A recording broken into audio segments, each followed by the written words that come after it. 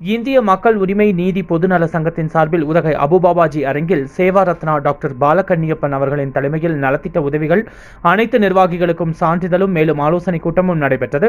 இதில் சிறப்பு விருந்தினர்களாக வழக்கறிஞர் கே. விஜயன் விடியல் தன்னார்வ அறக்கட்டளையின் லாரன்ஸ் ஆரம்பன் தொலைக்காட்சியின் சுரேஷ் மதிமாறன் மாநில நிர்வாகிகளும் கலந்து கொண்டனர். விழாவினை நீலகிரி மாவட்ட மாநில செயலாளர் பி. ஆர். வினோத் தலைமையில் ஏற்பாடுகள் செய்யப்பட்டிருந்தது. விழாவில் அனைத்து நிர்வாகிகள் உறுப்பினர்கள் சிறப்பு விருந்தினர்கள் வழக்கறிஞர்கள் தன்னார்வ நிறுவனங்கள் அனைவரும் கலந்து கொண்டு விழாவினை சிறப்பித்தனர்.